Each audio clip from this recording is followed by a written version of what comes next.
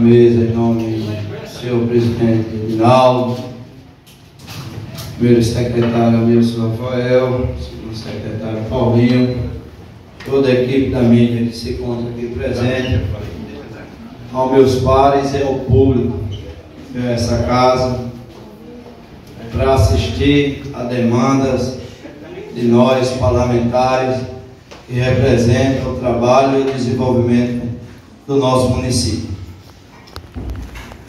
Hoje venho aqui é, falar que ontem estive com as famílias que sofreu danos em suas casas, invadida pelas fortes chuvas, onde a barragem, que não é mais de utilidade aquela barragem da Casal, certo? Ela encheu e transbordou, levando uma casa ao chão desabamento.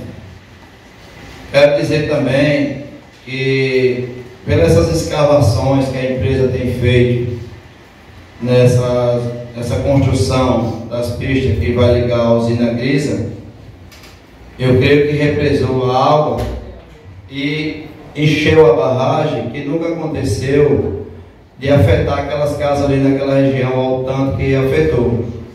Mas eu acompanhei de perto comunicando a equipe do CRAS, a equipe da assistência social, e foi lá ver que as famílias perderam seus móveis e a sua moradia.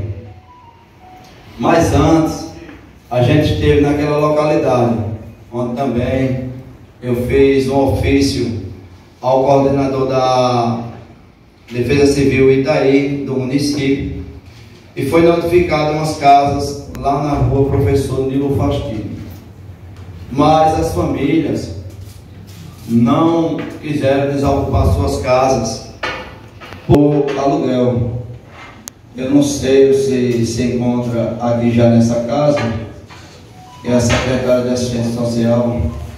Não, porque, por incompetência da secretaria, ao invés de mandar um projeto de lei, mandaram aqui um ofício. Então, pedi para devolver e fizesse da forma correta. Então, senhor José Cícero, eu peço verbalmente que a secretária de Assistência Social, Daniela Prachedes,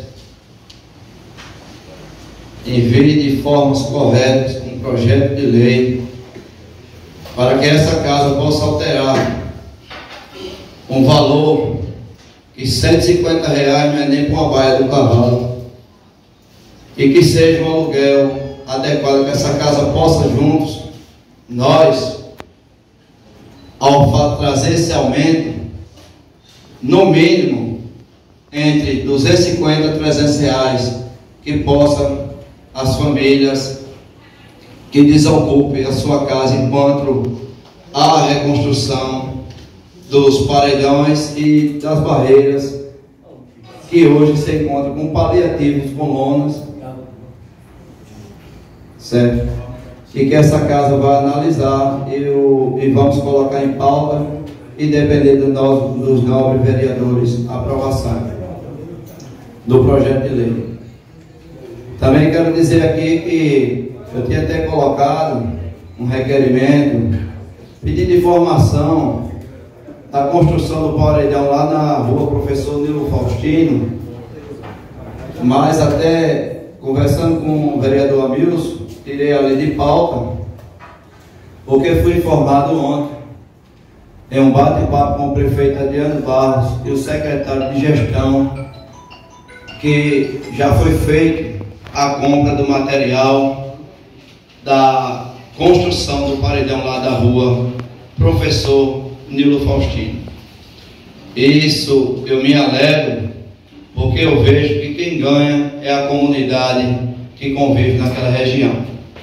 E nós, vereador, fazemos a nossa obrigação de cobrar, de trabalhar, de representar, pois o meu compromisso com o povo é escutar todos os dias, da lado a lado, e vendo a necessidade do nosso município. Pois essa casa contém 11 vereadores e nós somos salariados pela população. Por isso que eu represento da minha maneira, visitando, cobrando, pedindo, e muitas vezes nós, nós não somos atendidos, mas a persistência leva ao sucesso, como a gente conseguiu a construção do paredão da rua Professor Nilo Faustino. Venho lamentar pela perda das famílias de ontem, mas o tempo é de Deus e tudo está sob o seu controle. Essas são as minhas palavras, que Deus abençoe a todos. Trata-se de, de, um reajuste do aluguel que por três anos a prefeitura não, não mandou para cá, para a gente apreciar, mas não somente agora no pleito eleitoral que estão tratando do, do reajuste, ao invés de mandar para cá um projeto de lei, mandaram apenas um ofício, mas foi de forma incorreta, então pedi para devolver que mandasse corretamente através de projeto de lei. Então, chegando nessa casa, obviamente a gente vai apreciar, porque a gente tem que entender que todos os projetos referentes à assistência social são de bem comum para a população. Então, chegando aqui nessa casa, eu creio que todos os vereadores é, logo, logo irão apoiar a causa. Convido agora o vereador